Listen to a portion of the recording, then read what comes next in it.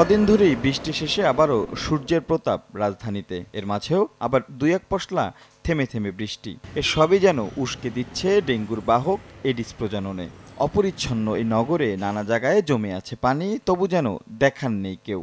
এখানে কোনো মশার ওষুধ দেওয়া হয় না। দোকানদাররা হয়তো কিছু কইলে আপত্তি করলে আর দোকানে দেয় একটু।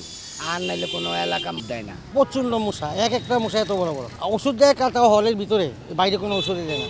স্বাস্থ্য অধিদপ্তরের তথ্য বলছে এ পর্যন্ত ডেঙ্গুতে আক্রান্ত হয়ে হাসপাতালে ভর্তি হয়েছে চার হাজার আটশো বাউান্ন জন।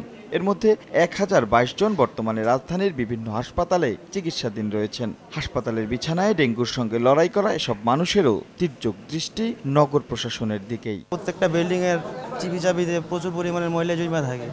বৃষ্টির পানি জমে এগুলোতে ধরেন এডিস মশার সৃষ্টি হয়। আমি এই গত এক মাসও দেখি নাই যে ওষুধ দিতে। যদিও দেয় তো ধরুন দশ লিটার পানির ভিতরে এক পা ওষুধ দিয়া কোনো রকম নাম সারলো। সবশেষ ষোলো জুলাই রাজধানীর বিভিন্ন হাসপাতালে রোগীর সংখ্যা দুইশো চোদ্দ যা এবছর একদিনে দ্বিতীয় সর্বোচ্চ। এখনও নগর কর্তৃপক্ষের দাবি ভয়ের কিছু নেই নেওয়া হচ্ছে ব্যবস্থা। থেমে থেমে বৃষ্টি হওয়ার কারণে পানি জমে থাকতেছে এবং এটা এডিস মশা প্রজননের খুবই সহায়ক। সেই জন্য আমরা চেষ্টা করতেছি আমাদের বর্জ্য ব্যবস্থাপনা বিভাগের সাহায্যে পানি যেখানে যেখানে জমতেছে সেগুলিকে সরানোর। আতঙ্কিত হওয়ার বিষয় যে আমাদের এত রোগী হচ্ছে, তো আমরা চেষ্টা করে যাচ্ছি। আমরা কিন্তু শুরু করেছি এপ্রিল থেকে। আমরা পুরা মে মাসে কিন্তু আমরা দেখেন অঞ্চল পর্যায়ে কিন্তু আমরা সচেতনমূলক প্রোগ্রাম করেছি।